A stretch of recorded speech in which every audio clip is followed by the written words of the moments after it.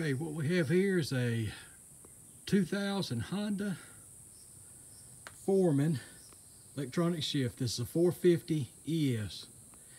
If you're like me, you get sick and tired of chasing gremlins, you go to shift, nothing happens, you have to get your little manual shift tool and put on it.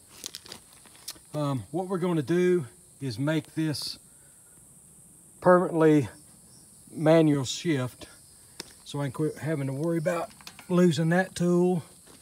What we need to do is get down in here and we need to get that right there. That's the shift motor.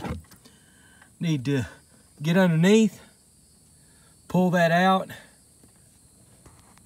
and gut it so we're not fighting it every time we try to do the manual shift with this right here. Okay, if you've never been done anything on one of these before, it's not too difficult. First thing we need to do to get that motor is we need to drop the skid plate underneath.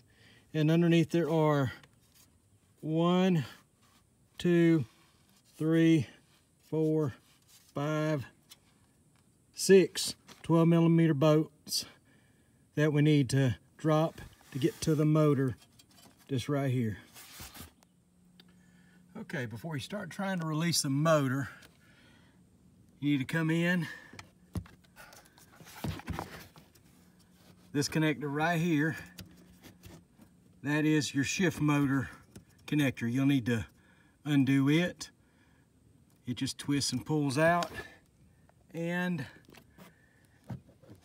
down in a little further on top of the motor you're gonna get my hand down in there. Is that little right there? That's your um, bank angle sensor. You'll need to disconnect it. There's just a little tab top. You squeeze it that way and pull it straight out. Okay, now we're ready to take the motor off. You're gonna take off two 10 millimeter bolts and they are on each side of this cover, the uh, bank angle sensor cover. You remove those, and then there's one, two, there's one here and one up above it on the top of the motor, and these are eight millimeter um, bolts. Uh, you take those out and just pull straight back in the motor and watch uh, the gears that they don't, they, they could slide out. Okay. Here's our shift motor. What we're going to do, so when we shift from this, we're going to be shifting directly to the transmission as opposed to going against the pressure of the motor. So we're going to take this out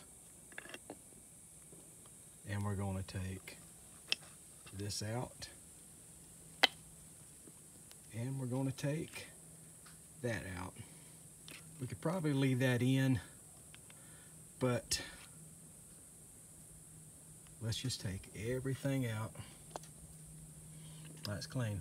Now what we're going to do is we're going to take all this, put it in a baggie, put it in your favorite spot to save stuff for the projects that you've worked on in case we ever decide to go back to uh, uh, uh automatic shifting or electric shifting.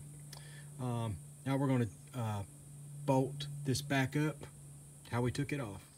Okay, when you get it all buttoned back up, um, the shifting ought to have a little bit more snap to it uh, without the drag of the motor. Not anything you have to do to go all manual, but um, you're just eliminating something that's going to cause a little bit of problem when you're um, when you're shifting.